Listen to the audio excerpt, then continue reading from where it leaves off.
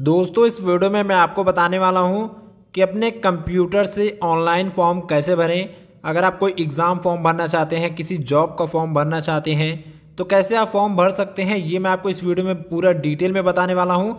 और कोई फॉर्म भरने के लिए क्या क्या ज़रूरी चीज़ें लगती हैं, ये भी मैं आपको बताऊँगा। तो चलिए बिना टाइम वेस्ट के वीडियो को स्टार्ट करते हैं।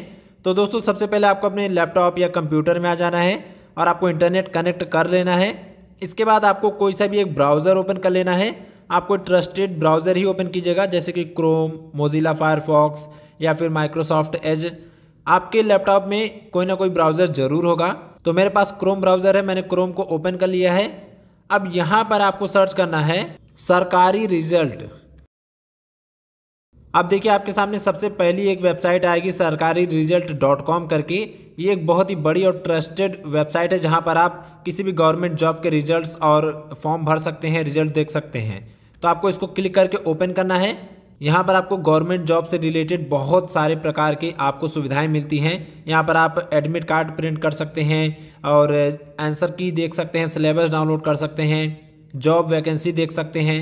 तो चलिए हम लोग देखने वाले फॉर्म कैसे भरते हैं। तो इसके लिए आपको यहाँ पर स्क्रॉल करके नीचे आना है।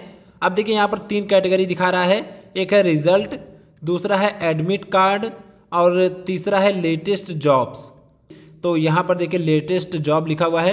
इसमें से आपको जो भी फॉर्म भरना है वो आप सिलेक्ट कर लीजिए। यहाँ पर मैं स्क्रॉल करता हूँ थोड़ा। यहाँ पर आपको बहुत सारे प्रकार के जॉब्स मिल जाएँगे। यहाँ पर देखिए एक है सी टेट जुलाई ट्वेंटी फोर ऑनलाइन फॉर्म तो इसको मैं सिलेक्ट कर लेता हूँ।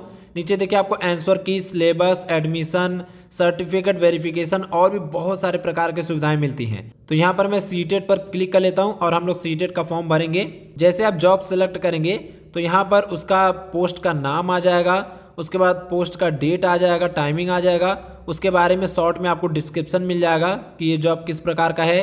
उसके बाद यहाँ पर आपको इम्पोर्टेंट डेट्स दिखा देगा एप्लीकेशन का फ़ीस वगैरह दिखा देगा, कितने पोस्ट हैं, ये सारी चीज़ें आपको दिखा देगा। पेमेंट कैसे एक्सेप्ट होगा, ये सारी चीज़ें भी दिखा देगा। इसके बाद आपको स्क्रॉल करके नीचे आना है। यहाँ पर आपको और भी बहुत सारे डिटेल्स मिलेंगी, लेकिन जो लोग इस जॉब में अप्लाई कर रहे हैं, उनको ये सारी चीज़ें अच्छे से पता होंगी। तो अब देखिए यहाँ पर जब आप नीचे आएँगे, यहाँ पर आपको इनके मोबाइल ऐप्स भी मिल जाएँगे, इनके ग्रुप्स भी मिल जाएँगे, आप चाहें तो ज्वाइन कर सकते हैं। अब यहाँ पर देखिए कुछ इंपॉर्टेंट लिंक्स हैं। यहाँ पर है अप्लाई ऑनलाइन अब आपको यहाँ पर क्लिक हीयर का एक ऑप्शन दिखेगा ब्लू कलर से। इस पर आप क्लिक कर दीजिए। हमें अप्लाई करना है। जैसे आप अप्लाई ऑनलाइन पर क्लिक करेंगे तो आप डायरेक्ट सरकारी वेबसाइट पर आ जाएँगे। अब यहाँ पर आपको फॉर्म भरना है। अगर आपने फॉर्म पहले से ही भरा है तो यहाँ पर आप साइन इन कर सकते हैं अपना इन्फॉर्मेशन डालकर।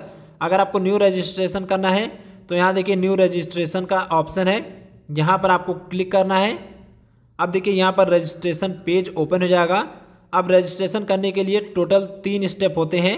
रजिस्ट्रेशन अप्लीकेशन फॉर्म उसके बाद फ़ीस पेमेंट तो पहले स्टेप में देखिए, यहाँ पर कुछ आपको भरना नहीं है। यहाँ पर स्क्रॉल करके नीचे आइए। यहाँ पर आपको क्लिक करना है I have downloaded information bulletin.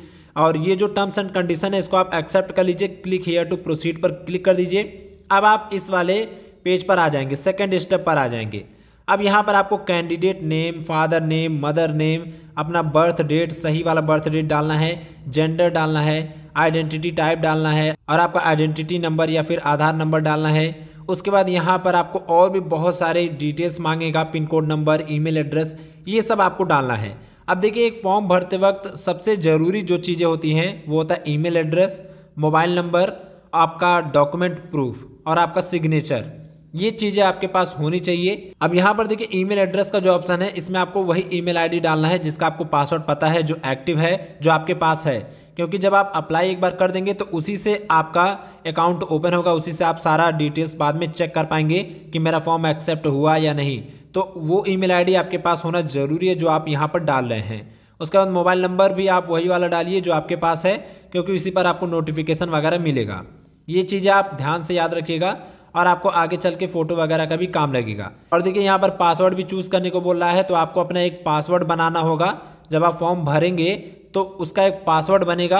बाद में जब भी आप अपना फॉर्म का स्टेटस देखना चाहेंगे तो अपना ईमेल आईडी और पासवर्ड डालकर आप लॉगिन करके देख सकेंगे कि मेरा फॉर्म एक्सेप्ट हुआ या नहीं। जो भी डिटेल्स होंगी, आप सब वहाँ पर देख पाएँगे।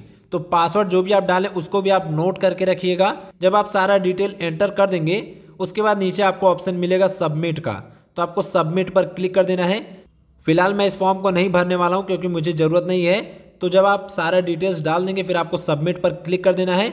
लास्ट में जाकर आपको फ़ीस पेमेंट करनी होगी तो फ़ीस पेमेंट के लिए आप कोई भी तरीका यूज़ कर सकते हैं। यूपीआई भी यूज़ कर सकते हैं नेट बैंकिंग यूज़ कर सकते हैं। आपको बहुत सारे तरीके मिल जाएँगे। और हाँ एक चीज़ मैं आपको बताना भूल गया फॉर्म में आपको सिग्नेचर भी लगता है और फ़ोटो भी लगता है। तो फ़ोटो का साइज़ कम से कम पचास के से ज़्यादा नहीं होना चाहिए। और जो आप सिग्नेचर अपलोड करेंगे, उसका भी साइज़ लगभग पचास के के ही अराउंड होना चाहिए। तो बहुत सारे लोगों को प्रॉब्लम होती है कि फ़ोटो का साइज़ कैसे कम करें। तो इस पर मैंने एक ऑलरेडी वीडियो बनाया हुआ है, जाकर आप देख सकते हैं। चलिए मैं यहाँ पर भी आपको बता देता हूँ। यहाँ पर मैं नया टैब ओपन कर लेता हूँ। आपको सर्च करना है resize photo okay resize photo करके आप एंटर कर दीजिए। अब यहाँ पर देखिए आपको एक वेबसाइट मिलेगी। इमेज रिसाइजर इसको मैं ओपन कर लेता हूँ। यहाँ पर देखिए, बहुत ही सिंपल सी वेबसाइट है। यहाँ पर आपको सेलेक्ट इमेज पर क्लिक कर देना है और आपको अपना फ़ोटो सेलेक्ट कर लेना है, जिसका आप साइज़ कम करना चाहते हैं। तो यहाँ पर मैं ये फ़ोटो ले लेता हूँ। अब देखिए, यहाँ पर इस फ़ोटो का साइज़ दिखा रहा है। अब आप इसको जितना के भी करना चाहते हैं, उतना आप कर सकते हैं। यहाँ पर देखिए विर्थ और हाइट दिया हुआ है। इसको आप कम ज़्यादा करेंगे तो आपके फ़ोटो का साइज़ कम हो जाएगा। यहाँ पर नीचे एक ऑप्शन है टारगेट फ़ाइल साइज़ इस पर क्लिक कीजिए। यहाँ पर आप डाल दीजिए टारगेट पचास के जितना के की ज़रूरत है उतना आप यहाँ पर डाल दीजिए ताकि आपका फ़ोटो कम से कम उतना ही छोटा हो। और यहाँ विर्थ और हाइट में आप सौ सौ कर दीजिए। जितना आप करना चाहें यहाँ रिसाइज पर क्लिक कर दीजिए। इसके बाद ये प्रोसेसिंग होने लग जाएगा। तो यहाँ पर देख सकते हैं, पहले हमारे फ़ोटो का साइज़ था नौ दशमलव सात छः एम अब यहाँ पर जो आउटपुट निकल कर आया है, यहाँ पर आप देख सकते हैं इसका साइज़ दिखा रहा है अट्ठारह दशमलव तीन छः के बी तो यहाँ आपको डाउनलोड इमेज पर क्लिक कर देना है। अब देखिए इमेज डाउनलोड हो चुका है, इसको हम ओपन करते हैं। तो यहाँ देखिए ये फ़ोटो हमने रिसाइज कर लिया है। ये देखिए, ये काफ़ी छोटा हो गया है, क्योंकि इसकी साइज़ काफ़ी हद तक कम हो चुकी है। तो आपको जितने साइज़ की ज़रूरत होगी, उतना आप यहाँ से रिसाइज कर लीजिएगा। उसके बाद आपको चले जाना है अपने फॉर्म में, जहाँ पर भी आप फॉर्म भर रहे हैं, उस पर चले जाना है, वहाँ पर आपको अपलोड फ़ोटो अपलोड सिग्नेचर पर क्लिक करके उसको अपलोड कर देना है। फिर आपको अपने फॉर्म को सबमिट कर देना है। एक बार आपका फॉर्म सबमिट हो जाए तो वो वहाँ पर जाएगा, उसके बाद वो चेकिंग होगा, और चेकिंग होने के बाद आप चाहें तो उसका स्टेटस ट्रैक कर सकते हैं ईमेल आईडी और पासवर्ड डाल के। तो बहुत ही ईजी है ऑनलाइन फॉर्म भरना, आप खुद से ही भर सकते हैं। अगर आपको कोई और फॉर्म भरना है जॉब वगैरह का फॉर्म नहीं भरना है तो जो फॉर्म आपको भरना है, उसकी वेबसाइट पर चले जाइए, वहाँ पर आपको लॉगिन कर लेना है और आप अपना फॉर्म भरना स्टार्ट कर दीजिए। फॉर्म में जो डिटेल्स हैं, वो आपको अपने हिसाब से ही डालनी पड़ेंगी, वो आप किसी के बताने से नहीं डाल पाएँगे ओके तो अगर आपको वीडियो पसंद आई हो वीडियो हेल्पफुल लगा हो तो वीडियो को लाइक कीजिएगा और अगर आपका कोई भी क्वेश्चन है तो कमेंट बॉक्स में ज़रूर से पूछ लीजिएगा।